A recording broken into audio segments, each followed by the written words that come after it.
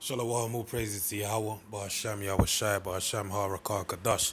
Double honors unto the apostles and elders of Great Millstone who rule well, and shalom to the hopeful elect.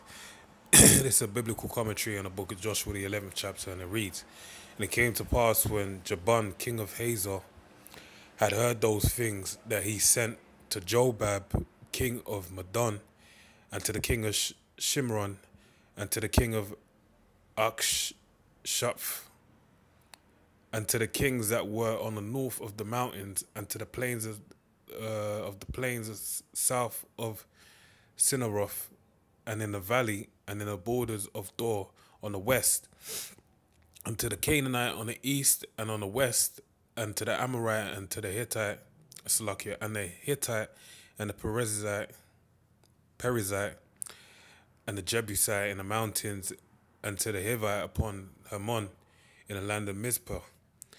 And they went out, they and all their hosts with them, much people, even as the sand that, is upon the seashore in multitude, with horses and chariots, very many, many.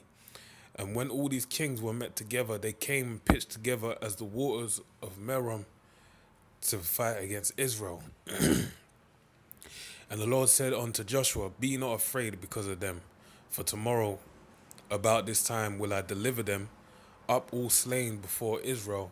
Thou shalt hock their horse their horses and burn their chariots with fire. Now that great multitude that was gathered as the sand of the sea, you know, through faith, you know, if you if you wouldn't have, if you looked through unfaithful eyes, you would have looked saw that you would have thought something like, "Oh, the Most High has gathered these nations to take us out." But if you look through faithful eyes, you would have known He gathered them to all together to be destroyed in that place, and that's what the Lord was doing. And and this goes back to the, the it's a similar um, form of story, you know, with the hocking of the horses. That's basically you know cutting the hamstrings of the horses so they're basically useless, and burning the chariots. If you know anything about horses, they have great value, right, and they're they're, they're uh, of royal possession, all right. It's basically like back then. It's like having a Lamborghini, a luxury sports car, basically. So the Lord was saying, destroy those things and burn the chariots with fire, just like going back to when you had Jericho, you know, being taken out and nothing to be taken from there. All right. So reading on. So Joshua came and all the people of war with him against them by the waters of Merom, Merom, suddenly, and they fell upon them. And the Lord delivered them into the hand of Israel, who smote them and chased them unto great Zidon and unto Mizreph, Oph, Maim, Maim, and unto the valley of Mizpah eastward. And they smote them until they left them none remaining. And Joshua did unto them as the Lord bade him. He hocked their horses and burnt their chariots with fire. Okay, and Joshua at the time turned back and took Hazor and smote the king thereof with the sword, for Hazor before time was the head of all those kingdoms. Alright? And they smote all the souls that were therein with the edge of the sword, utterly destroying them, and there was not any left to breathe. And he burnt Hazor with fire.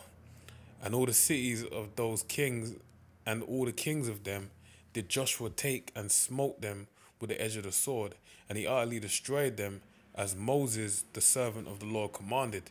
But as a ki- but as for the, the cities that stood still in their strength, Israel burned none of them save Hazor only, that did Joshua burn. And all the spoil of these cities and the cattle the children of Israel took for a prey unto themselves, but every man they smote with the edge of the sword until they destroyed them, neither left they any to breathe. So you know, it just shows you that the most side they had to do, you know, the, the destruction according to his commandment, all right, that was given through Moses. As the Lord commanded Moses, his servant, so did Moses command Joshua, and so did Joshua. He left nothing undone of all the Lord comm- commanded Moses. So Joshua took all the land, the hills, and all the south country, and all the land of Goshen, and the valley, and the plain, and the mountain of Israel, and the valley of the same, even from Mount Halak that goeth up to Seir unto Baal Gad in the valley of Lebanon under Mount Hermon, and all their kings he took and smote them and slew them. Joshua made a made war a long time with all those kings. There was not a city that he made peace with that made peace with the children of Israel, save the Hivites, the inhabitants of Gibeon, as we read before. All the other they took in battle. For it was the Lord that hardened their hearts that they should have should come against Israel in battle, and he might destroy them utterly, that they might have no favor, but that he might destroy them as the Lord commanded Moses. So this is performed according to the Most High's will that he set in their hearts to do it. All right, and really going back to the curse of Canaan for it to be fulfilled through the children of Israel. All right, and you know for them to basically be utterly destroyed. And at that time came Joshua and cut off the um, Anakims from the mountains, from Hebron, from Debir, and from Anab, and from all uh, the mountains of Judah, and from all the mountains of Israel. Joshua destroyed them utterly with their cities. There was none of the Anakims left in the land of the children of Israel, only in Gaza, in Gath, and in Ashdod there remained. So Joshua took the whole land according to all the Lord said unto Moses, and Joshua gave it for inheritance unto Israel according to their divisions by their tribes, and the land rested from war. So with that, man, I pray you edify. Shalom.